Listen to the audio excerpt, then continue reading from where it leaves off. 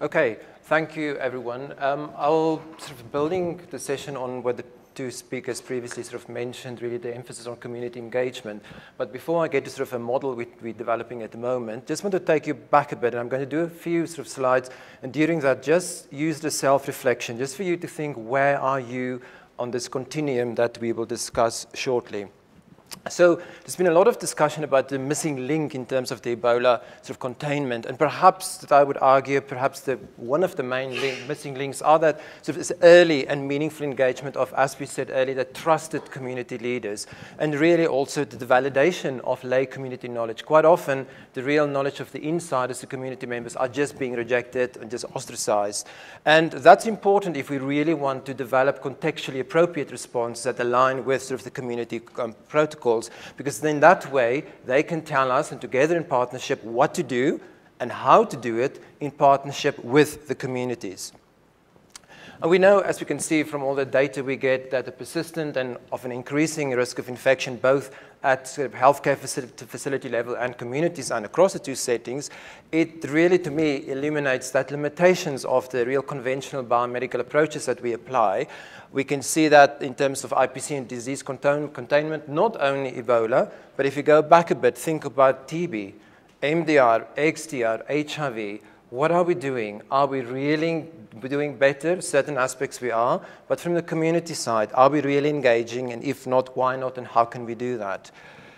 One of the limitations to me from IPC side is this is what I call the exclusivity. Because the two pivotal components we keep forgetting is the community members. They are ultimately the true beneficiaries. So for control, infection control, we want them to have the benefit, and also the broader community system. And by that, we mean the structures of the community, the organizations, the people, the assets, and again, I will explain that in a minute.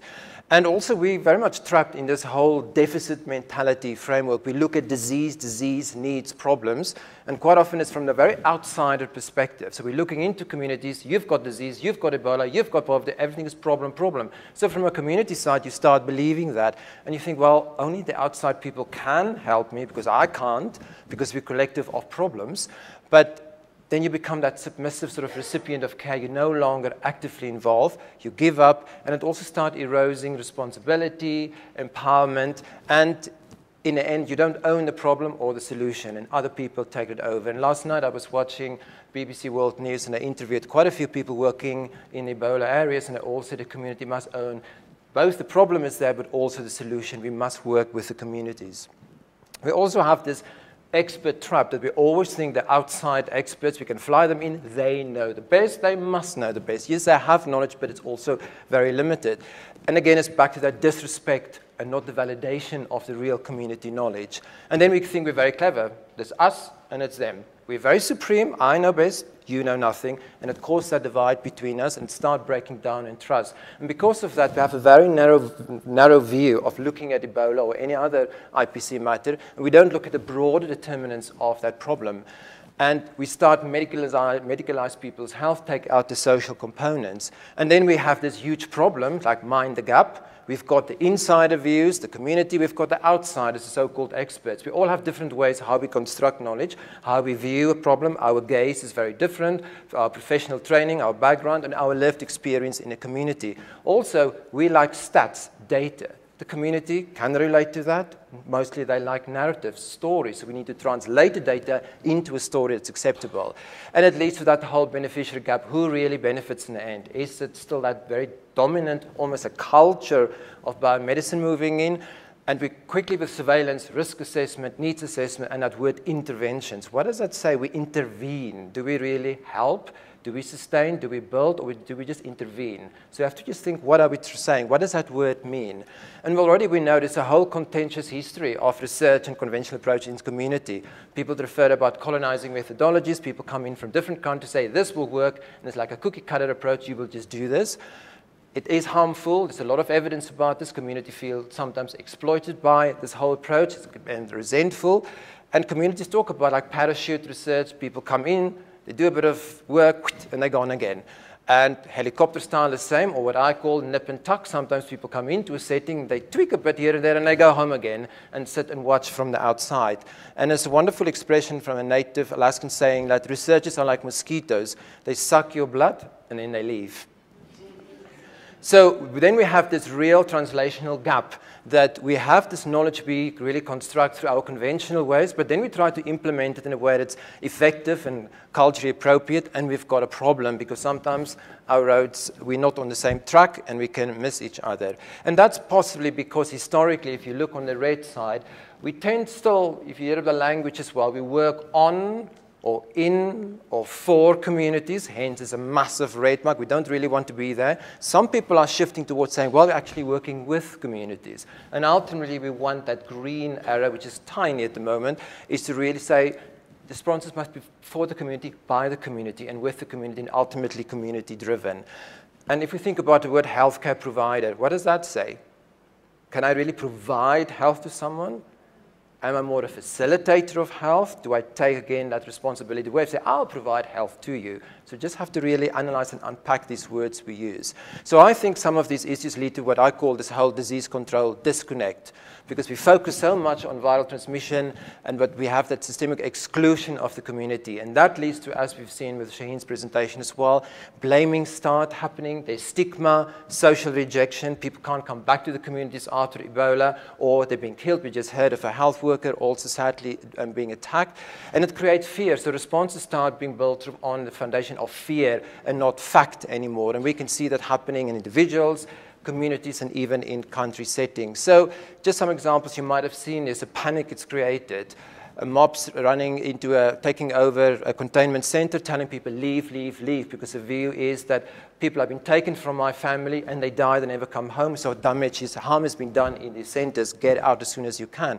We've seen as well um, whole communities being sort of quarantined, and then you see this statement that came out, again, look at the blaming We've been unable to control the spread due to continued denials, cultural burying practices, disregard for the advice of health workers, and disrespect for the warnings by the government.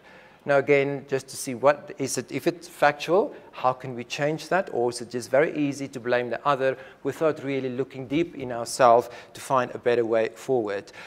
So, to me, ultimately, these affected communities are very much the sort of the repositories of unrecognized knowledge and experience that we need and we really need to work with them. And rapid sort of entry, community entry, IPC methods, of course it is critical, but we also really need to look at this containment efforts, bringing in that concept of cultural humility, and I will discuss that. Look at if we can have a fusion of the community protocol, meaning that's the cultural values, the customs, the practices existing, and if we can somehow fuse that with our controls, but without compromising safety. If that's possible, maybe sometimes it won't be, but I'll give some examples that came from community members. So that leads us to a certain lady sitting in this room with a beautiful orange scarf said to us a week ago, guys, can you come up in about five days or a week? Five steps very quickly how we engage with communities. And we thought, okay, we'll try our best we actually did, and we came up with eight steps. So we've even surpassed that sort of statement. So it's called the CARE model. It's still in development, stands for community, assets, responsiveness, and evaluation. Okay? And that's the way we can try to control Ebola or any other um, disease containment as well. This model is really trying to give us some guidance uh, for development, implementation, and to evaluate that community engaged, um, responsive, and cultural sensitive to disease control efforts. And we focus very much on prevention, its treatment, and self-care. So that is grounded in practice-based evidence. What we've done is we've looked at um, evidence, a lot around the world, sadly not in Africa, look at culturally appropriate ways to engage the communities to address really serious um, health issues. And also we've gone to people with experience in community engaged work and in IPC and EVD and viral hemorrhagic fever controls and asked them, give us feedback. Also, we went to um, Sierra Leone and asked them, tell us from your experience, can these steps work? Also, be involved a survivor, and we're currently waiting for additional feedback from communities. Okay, these are the eight core steps. I will explain them very briefly for you, one at a time.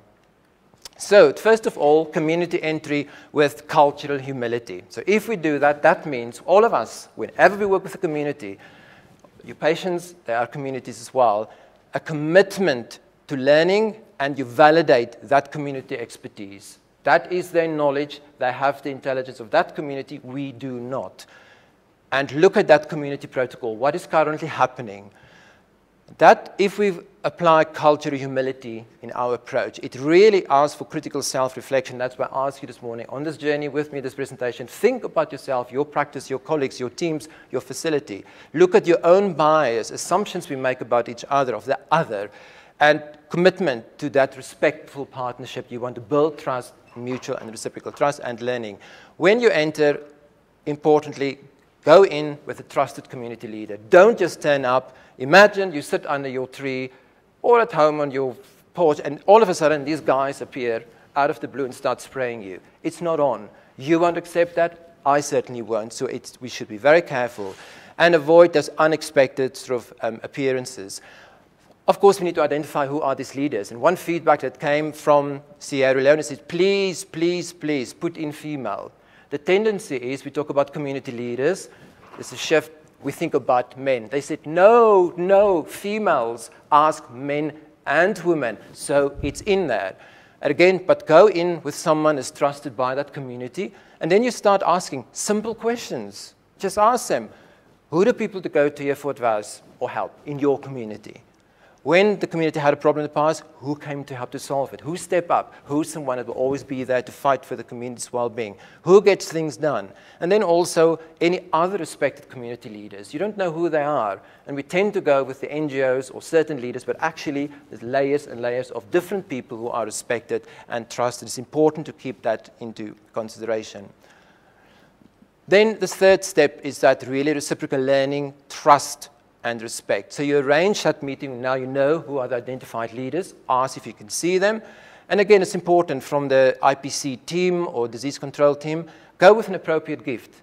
Your community members will tell you what it is. It might be a gift. Maybe it's food, maybe it's a bag of rice in certain communities, or there's a cultural process to follow. Follow that. Then you discuss with them what is a medical protocol, explain why we have to do certain things. And that's the whole aim is to provide them no with knowledge for their own increased safety, for prevention, and for action from the community level. And then with them, you identify some of the practices we have what, which ones, if any, or all of them, are maybe not totally culturally sensitive, and can we work on those? Then you also, next thing is important, is to sit down with the community and you map what are the assets in that community that can be used for health promotion, but also to prevent disease. And that increasingly we feel it must include the survivors of Ebola. Okay, we term them at the moment peer health promoters. Again, last night, watching television, they interviewed a boy, he's nine years old, and he said he's the only one left in the entire family. Mom died, father died, grandparents, all his siblings, he's left, he survived it. He's stepping up, he's going around, he's now educating people. This is what you need to do. Please take precaution. In that same village, the communities got together, they've started their own treatment center. Now, they said because we've asked for help, no one is coming on board. He stepped in as the inside consultant to tell, this is what happened to me, be careful, be careful, this is what happened to my parents. So community knowledge, it is there. The people are there, the resource. We just need to tap into that. So clearly that guy needs help as well, but who's there to support him and make sure that the whole team, that whole community response is done safely. And then you map these assets and you really look at that, what can we use to try to fight Ebola? It could be, for example, schools, clinics, shops, barbershops, uh, mobile taxis, anyone that can you use in the community will tell you who are the key people and the structures in that community system. And then with the help of the leaders, then you identify that community protocol, look at in relation to what is the practices in terms of illness and the beliefs in illness and death, about accessing services, food, and any other needed resource in that community. What is the standard practice, the norm? Here you can see on the right children mapping, adults, and this is done in Nairobi, not directly with Ebola at the moment, but we thought this is a system we could use.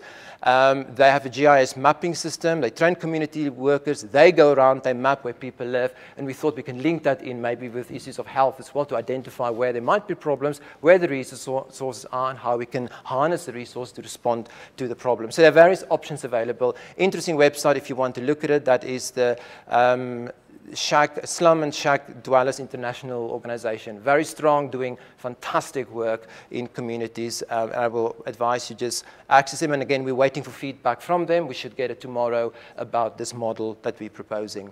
Um, then once you have this sort of the cultural protocol to see if you can adjust what we do, the IPC side, but not to compromise safety, but to honor that protocol. And then also clearly identify what are the best modes and methods of communication to and from the community. Because quite often we just walk in, we think leaflets, leaflets, but are they really appropriate? And the community can tell us.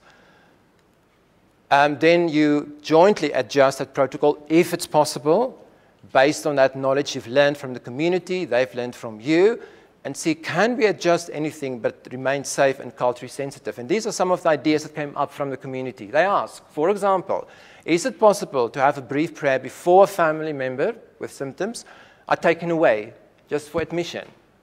Because the moment you just go in and grab and you run, where is respect? Where's the acknowledgement for that being? It's still a person. So they ask, is it possible? Next one, please, can you update the family on the location and the health condition of my family member? Last night again, you can hear it, I was in front of the television, but they interviewed a few young people. They said, we've all been orphaned. And a little girl, she said, I don't know where my parents are. They took them away. I don't know where they are. I don't know if they're alive. I don't even that. I just don't know. There's no communication. One way, moving in, pull the bodies out and run. It's not on. Also, they asked, would it be possible if someone died in their home environment, could the body be double wrapped in a person's own coffin? Because even in the poorest communities, quite often people, they have their coffins or access to, followed by a brief prayer before that person is then removed. Is that possible? Also something that came to last night from Sierra Leone, they asked, could it be possible after cremation, can the ashes be returned to the family if they would like that, because quite often there are later ceremonies, sometimes 40 days afterwards. Now, it might not be possible. That is absolutely fine, but explain that to community. This is not possible because, and again, it's mutual education and find ways around that. Again, this is what we try and, try and prevent, that people are just being taken away, people, communities might not understand, and again, someone, oh, sorry, someone dying, just being taken away from the home environment and again, not time to say goodbye or the prayer. So we can change things in partnership with community. So then you've got all this detail, you now know in some aspects you can adjust the protocol, call a community meeting, oops, but not by you, but by that respected chief or the community leader. Get all the communities involved, but importantly, if you invite it, we go along as well to be present. Again, the whole thing is reciprocal learning. So we go in with not this is what you need to know, but with a whole frame of mind that what can you teach me what can I learn from you? What can you learn from me? I don't tell you. Yes, I'm learning from you as well. And that's part of that foundations of trust and respect. And then you discuss that joint protocol, if you could change it, and the whole community understand. And importantly, step six is that multi-way communication we talked about earlier. Make sure people can talk to you. You know what the right modes and methods are. Some ideas that came up again from Sierra Leone was street theater. That's stepping up big time now. There's music, videos being done, played on radio. And we also thought cell phone texting, as Shaheen also mentioned, if it's appropriate, and iPad iPads in the future. We're thinking future as well, not only now.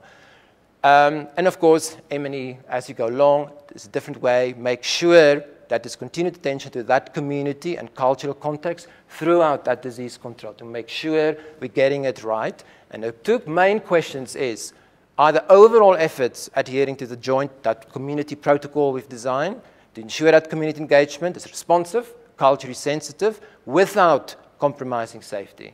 And the second question, is the joint protocol perceived as improving the community's responsiveness to and trust in those um, disease control efforts?